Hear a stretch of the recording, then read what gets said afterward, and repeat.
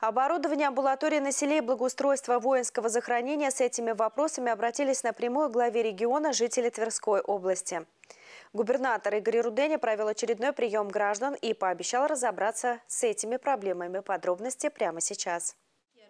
Из-за отсутствия в поселке Сельмаш Бежецкого района врачебной амбулатории жители вынуждены ездить за медицинской помощью в город. Это ни много ни мало около 10 остановок, рассказывает мама троих детей Марина Жукова. Даже если ребенок заболел с температурой, на дом медик не придет. Раньше медицинский кабинет в Сельмаше был, но потом его закрыли.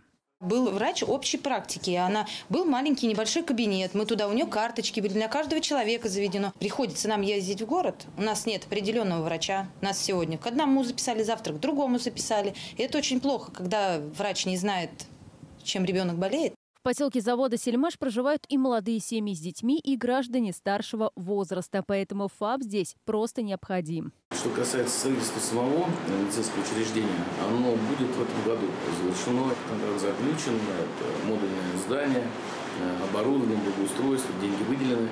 Установка новых фельдшерско-акушерских пунктов в регионе ведется в рамках нацпроекта здравоохранения. Всего в 2023 году планируется установить 33 быстро возводимые модульные конструкции, 27 ФАПов и 6 врачебных амбулаторий. Еще один вопрос, который был адресован главе региона, затрагивает не только тему благоустройства, но и патриотического воспитания. Жители деревни Горшкова Фировского района озаботились вопросом ремонта монумента на могиле советских воинов, павших погибших в годы Великой Отечественной войны. На мемориале, установленном еще в 1956 году, 127 фамилий. Мы хотим сделать капитальный ремонт, чтобы привести его в надлежащий вид. Постоянно там проходят у нас мероприятия к 23 февраля, к 9 мая, к 22 июня. Этот памятник у нас стоит на гражданском кладбище. Его очень много посещают людей. Нина Викторовна признается, хочется сохранить для потомков монумент в достойном состоянии, как память о подвиге советских солдат. Игорь Рудени отметил, в настоящее время ведется заключение контракта. Благоустройство воинского захоронения будет выполнено в этом году.